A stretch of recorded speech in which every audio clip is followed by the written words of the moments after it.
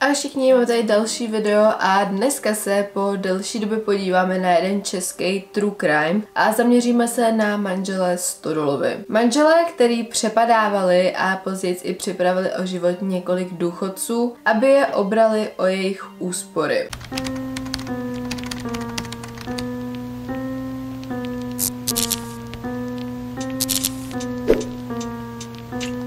Pokud se vám video bude líbit, tak budu moc ráda za like a odběr a rovnou se na to vrhneme.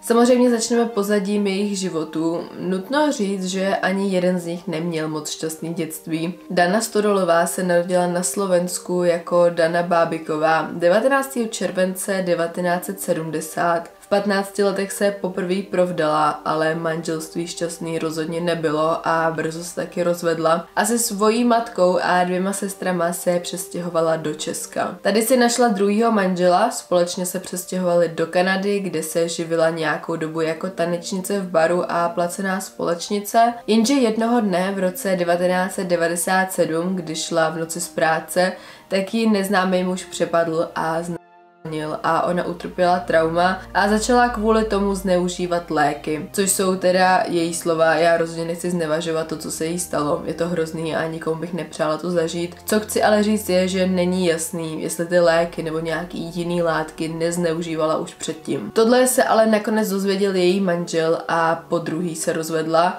protože jemu očividně nevadilo posílat svoji ženu šlapat, ale tady to už na něj bylo moc. Potomhle Dana odletěla zpátky do Česka a začala znova bydlet s matkou. Jaroslav Stodola se narodil 8. května 1966 v Chabeřicích, má tři bratry a jednu sestru a i když matka se k dětem chovala hezky, tak jeho otec byl alkoholik s následnickými sklonama, který se jenom prohlubovali, když se napil. A upřímně Jaroslav se celkem potatí. On chodil na klasickou základní školu, ale jenom do páté třídy, protože učení moc nezvládal a po té páté třídě byl přiřazený do zvláštní školy. Tu dokončil, vyučil se obuvníkem a pak nastoupil jako dělník do továrny na obuv ve Zruči nad Sázavou. Pořád ale bydlel doma a jeho otec pořád lil a tím, jak Jaroslav byl starší, tak si víc dovolil. A jednou, když mu bylo 17, tak se tak moc pohádali, že Jaroslav svého otce nakonec prohodil skleněnou výplní dveří a jeho otec ho po tady tom vyhodil z domu. A tak Jaroslav teda taky šel. Od té doby bydlel na ubytovně, odbil si vojnu a pak začal pracovat v osobní obovnické firmě v Kácově, kde ale Jaroslav okradl Hostinskýho, což byl taky jeho první zločin. Nakonec byl odsouzený celkem čtyřikrát a skončil ve vězení. Jinak byl ale svýma kolegama a známýma braný jako klidný člověk jenom do té doby, než se ale napil. Protože stejně jako jeho otec měl problémy problémy s alkoholem a když se napil, tak měl ve zvyku vyvolávat rvačky a chovat se agresivně. S Danou se poprvé seznámil v roce 1988 na jedné vesnické zábavě, jenže Dana si pak našla někoho jiného, toho si vzala a pak právě odletěla do té Kanady. Na konci tisíciletí Jaroslav začal pracovat jako pomocný dělník v zemědělském družstvu v Trhovém Štěpánově a v roce 2001 se tam zranil. Dostal otravu krve, se kterou byl teda samozřejmě hospitalizovaný a v čekání čekárně narazil na Danu úplně náhodou. Oni se dali do řeči a víc než to, prostě se začali rozumět, začali spolu chodit a nakonec se i vzali. Pracovali ve stejném podniku, jenže celou dobu se potýkali s finančníma problémama. Jaroslav řekl, že Dana neuměla hospodařit s penězma a většinou je utratila hnedka po výplatě, což je pravda, ale teda ani Jaroslav na tom nebyl moc chvalně. Proto si taky často museli půjčovat a i když ty peníze vždycky splatili, tak je asi všem jasný, že to nebylo ideální a oni si to uvědomovali. Jenže jedna věc je to uvědomovat a druhá věc je proto něco udělat. Třeba si najít novou práci nebo si najít druhou práci a to nenapadlo ani jednoho. Naopak Dana z práce odešla, Jaroslavovi tvrdila, že ji propustili, ale podle všeho spíš odešla sama, protože prostě nechtěla pracovat. Proto se ale taky musela odstěhovat z podnikový ubytovny a Dana si řekla, že s prázdnou ale neodejde a přesvědčila Jaroslava, aby ukradli aspoň vybavení z té ubytovny, jenže je chytili. A i Jaroslav tak musel z ubytovny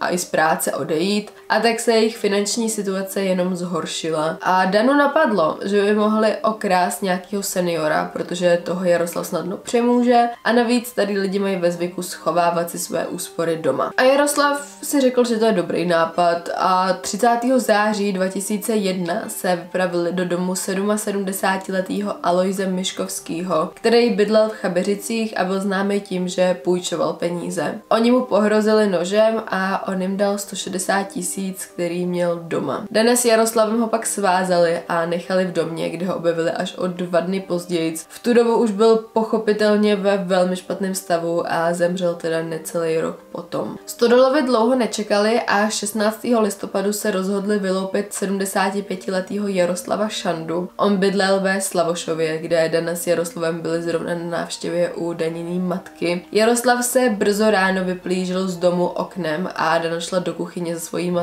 aby ji zabavila a když se její matka ptala na Jaroslava, tak řekla, že prostě ještě spí. On mezi tím ale teda nespal. Vlezl na Šandu v pozemek a schoval se na zahradě tak, aby měl výhled na hlavní vchod. A když Šanda odešel do chlíva, tak vlezl do domu a schoval se v předsíni, měl na sobě paruku a punčochu přes obličej, aby ho teda Šanda nepoznal. A jakmile se vrátil z chlíva, tak ho Jaroslav srazil na zem a donutil ho říct, kde schovává peníze. Nakonec z něj dostal 40 tisíc, jenže když mu Šanda dával ty peníze, tak Jaroslavovi strhl z obličeje punčochu a on dostal strach, že by ho Šanda poznal a tak ho uškrtil. Tělo potom uložil do postele, okolo který zapálil několik svíček a z domu potom vzal ještě několik věcí a prostě utekl. Jedna z těch zapálených svíček ale způsobila požár. Ten hasiči uhasili, ale dům dopadl dost dost špatně. Při bitvě Jaroslava Šandy došlo i k několika pochybením. Tím hlavním rozhodně bylo, že lékař nenahlásil poranění hlavy a taky přehlídl stopy po škrcení. Jenže teda Šanda ještě před svojí smrtí poměrně často mluvil o tom, že by svůj dům radši zapálil, než aby ho nechal svým synům, protože ty si ten jeho majetek začali rozdělovat ještě za života svého otce, což je hodně supácký. A případ byl tak teda nakonec uzavřený jako úmrtí bez cizího zavinění. A Jaroslav šel Šandovi dokonce na pohřeb a zúčastnil se i smuteční hostiny. Trvalo jenom 12 dní, než si našli další terč. 28. listopadu vnikla Dana do domu sousedky Růženy z Kohoutilový. 68-letá důchodkyně byla známá svojí zálibou ve špercích a tak teda dvojice předpokládala, že má nějaký peníze. Zatímco Jaroslav hlídal venku před domem, tak Dana Růženu napadla železnou tyčí. S Jaroslavem ji pak svázali a byli, aby jim prozradila, kde schovává peníze, jenže ona odmítla a taky Jaroslav udusil. Pod postelí pak našli 50 tisíc a odnesl taky několik několik dalších věcí. Tělo zakopali na zahradě společně s dokladama a několika předměty denní potřeby, aby to vypadalo, že Růžena někam odjela. Její tělo objevil až její zeď, když na začátku května 2002 stavil na zahradě foliovník, jenže teda v tu dobu v okolí řádila ještě trojce mužů, který taky přepadávali důchodce, který se navíc asi týden před úmrtím Růženy pokusili okrást i ji, takže i když se případ vyšetřoval jako v tak podezření padlo právě na tady ty a tady ta trojice taky byla obviněna. 30. dubna přepadli 66-letého Antonína Krále. Pod záminkou, jestli by nemohl dostat vodu, na něj zazvonili a pak ho zatlačili do domu, kde ho i s jeho ženou Marí svázali. Každý ho odvedli do jiné místnosti a donutili je prozradit, kam dali peníze. Marie jim to nakonec prozradila, ale nepomohlo jim to a Jaroslav je i tak uškrtil. Těla pak rozvázali a pustili plynový sporák. Dana odešla normálně předníma dveřma, Jaroslav za ní pak zamknul zevnitř a protáhnul se ven okýnkem na záchodě. Těla objevil až jejich příbuzný, který ho sousedé upozornili, že u nich doma je nějak moc klidno. Jako příčina úmrtí bylo uvedený urušení plynem z toho sporáku. Jenže, protože tady to mohlo vzniknout i špatnou instalací, tak bylo zahájené vyšetřování a byla nařízená soudní pitva. A Stodolovi mohly být dopadený, jenže opět došlo k pochybení. I přes přesto, že na těch tělech musely být spatrný stopy poškrcení, tak jako oficiální příčina smrti bylo označený udušení. Navíc vyšetřovatelé úplně ignorovali názor soudních znalců, který vyloučili, že sporák by zaplnil plynem tak veliký prostor a případ byl odložený. 11. srpna se stali terčem Hromasovi. Jaroslav je nechtěl okrást, protože Růžena Hromasová pracovala s jeho matkou v kravíně a když byl Jaroslav malý, tak se o něj starala, když měl jeho otec ty své opilecké výlevy. Jenže Danu to dostatečně neobněkčilo, nebo jenom řekla, ať se postará o jejího manžela Václava, který ho tolik neznal. Jaroslav vyrazil dveře a Dana napadla Růženu, která jim šla otevřít. Přivázali ji k židli a Dana ji začala škrtit ručníkem a kalhotkama, který strhla z prádelní šňůry. Hluk v domě probudil teda i Václava, který do té doby spal ve vedlejší místnosti. On se šel podívat a Jaroslav ho zatlačil zpátky do té místnosti, odhodil ho do postele a tam ho svázal. Václav mu řekl, že v hrnku v kuchyni mají schovaných 20 tisíc a Stodolovi si peníze vzali a odešli a teda Helmasovi nechali žít, protože ty je nepoznali, takže oni se necítili ohrožený. Další oběť připravila o život sama Dana. 14 15. září odjela do Jindřichova Hradce, kde se ptala na možnost práce a ubytování a bylo jí doporučený, ať si poptá v obci kousek od Hradce. Tady se jmenuje Kardašova řečice a Dana tam teda dojela a seznámila se tam s Marí Čondlovou, který pověděla, že je oběť povodní v Praze. Vy, který jste mladší než já, tak možná nemusíte vědět, že v srpnu 2002 byly v Česku povodně a nejvíc postižený bylo právě povodí Vltavy, včetně Prahy. Tenkrát to hodně odnesla pražská zoo a když se tam třeba teďka budete podívat, tak někdy ještě bývají takový ukazatelé, jak až vysoko ta voda byla a je to celkem šílený. Marie u sebe Danu nechala přespat, protože jí věřila a Dana jí za to okradla, nebo aspoň o to snažila, protože druhý den Marie odešla na nákup a Dana jí začala prohrabávat věci a taky teda i na našla, když se potom vrátila a Dana ji za to napadla, přemohla a přivázala k židli. Nutila ji prozradit, kam v domě ukrývá peníze, protože do té doby ještě nenašla, ale Marie jí to odmítala říct. A tak jí Dana nadspala do pusy roubík, dvakrát jí praštila válečkem do hlavy a pak ji čtyřikrát nožem do hrudníku. Dům pak prohledala, uklidila a ještě jednu noc tam přespala. Policie případ vyšetřovala jako vraždu a podařilo se jim dokonce získat i popis podezřelý, ale pátrání skončilo neúspěšně. 28. října už společně s Jaroslavem napadli 81-letého Josefa Malinu. Ten bydlel v domě naproti ním a často se veřejně chlubil tím, že má dost našetřeno. Stodolovi ráno počkali, než bude větrat, protože pan Malina větral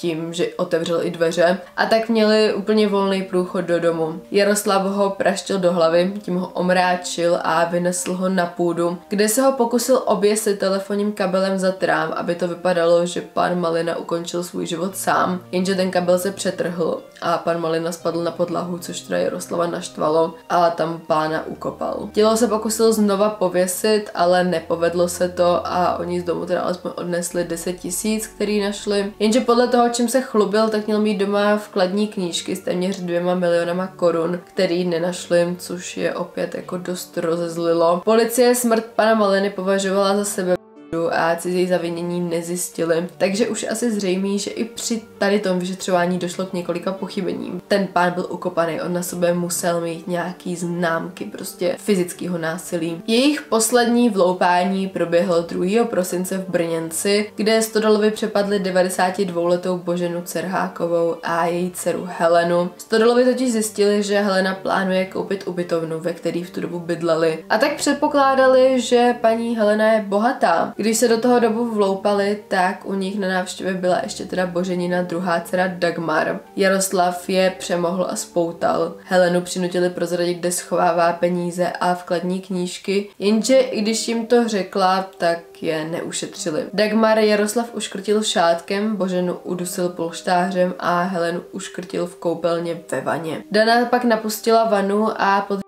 Heleně žíly, aby to vypadalo, že si sama vzala život potom, co připravila o život svoji sestru a matka z toho pak dostala infarkt. Dana zase odešla hlavním vchodem, Jaroslav za ní zamknul a vylezl okýnkem nad dveřma. Jenže možnost, že by Helena sama ukončila svůj život, byla vyloučená během pitvy, když byly zjištěný stopy poškrcení. A jediný, co k tomu můžu říct, je konečně. S čím dvojice taky nepočítala je, že Božena přežije a podala svědectví, který, i když bylo dost nesouvislý, tak bylo určitě užitečný, protože popsala, že parchatelem byl vysoký muž z ubytovny a popis seděl právě na Jaroslava, který už měl několik zápisů v trestním rejstříku. Kriminalisti si prověřili jak Jaroslava, tak Danu a zjistili, že krátce po tajtom incidentu splatili jeden z jejich větších dluhů a z ubytovny se taky odstěhovali. Jenže zatím prostě neexistoval dostatek důkazů, aby mohli obvinit. Navíc jediný setkyni, kterou měli, bylo 92, prožila si trauma a mluvila dost nesouvisle. Jaroslav měl z toho, co udělali výčitky a jeho psychický stav se dost zhoršil a jednou se pokusil dokonce ukončit svůj život tím, že spolikal sedativa. Ale Dana ho teda našla, zavolala sanitku a povedlo se ho zachránit. Jaroslavovi výčitky mu ale nezabránili najít si v nemocnici další terč, protože se tam dozvěděli o důchodkyni z vedlejší obce a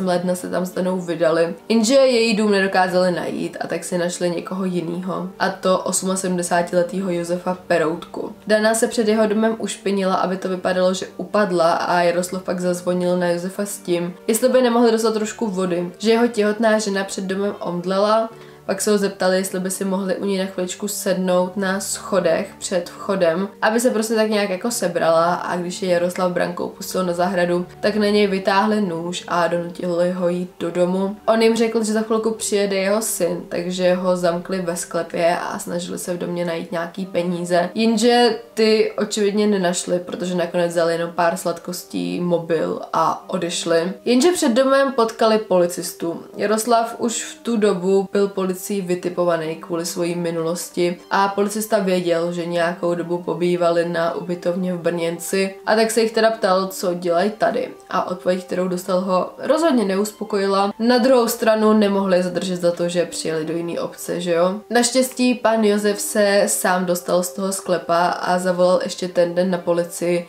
kde nahlásil, co se mu stalo, popsal, jak vypadali ty lidi a policie si vzpomněla na svoje setkání se Stodolovejma a ty taky byly zadržený. Jaroslav přiznal svoji vinu, ale Danu se snažil chránit a vlastně všechno vzal na sebe. Jenže při rekonstrukci jednoho z případů se zjistilo, že vlastně vůbec netuší, že ta paní měla nějaký poranění na rukou. Jenže Jaroslav i nadále odmítal, že by s tím jeho žena měla něco společného a Dana se taky odmítala přiznat. Ke zvratu došlo, když začala popisovat jeden z případů, a to dost detailně. Jenže za pachatele i tak označila svého manžela, který jí o tom podle jejich slov měl jenom říct. Policie jí na oko věřila, ale jenom proto, aby z ní dostali víc informací. Jaroslav se k činu sice přiznal, ale když se dělala rekonstrukce, tak viděl strašně málo. To byl ten čin, který Dana spáchala sama. A později se ukázalo, že Jaroslav ani neměl tušení, že k tady tomu případu došlo. A tohle byl pro Jaroslava moment, kdy si uvědomil, že Dana ho jenom využívá a rozhodl se, že už ji prostě nebude krýt.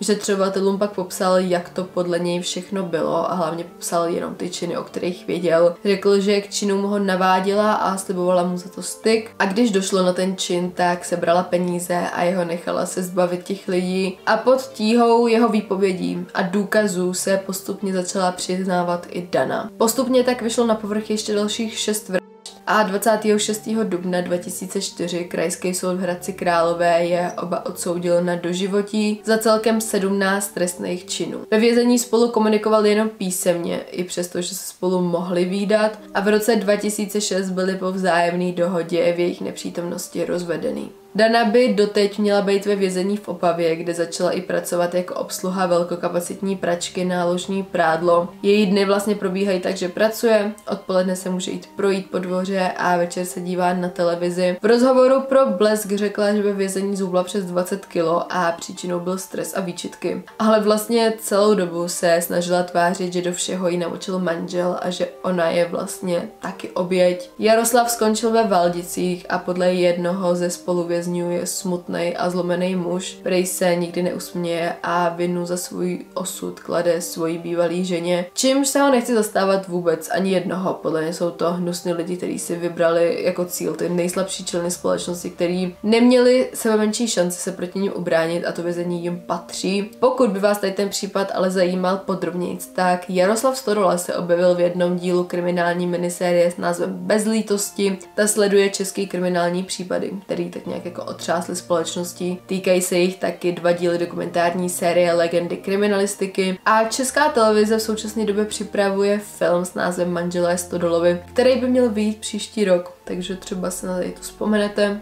Pokud se vám video líbilo, tak já budu moc ráda za like a odběr, mějte se krásně, užívejte si spooky season a uvidíme se asi příště. Ahoj!